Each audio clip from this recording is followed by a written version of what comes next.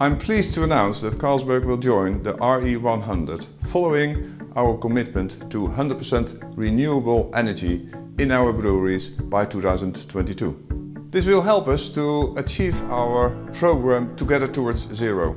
I think business leadership is key in addressing the climate challenges. And for that we need to step up together.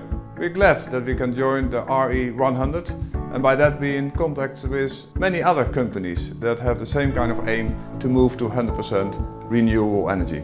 It's an opportunity to share best practice, to learn from each other and maybe as well to inspire other companies to follow us in our aim.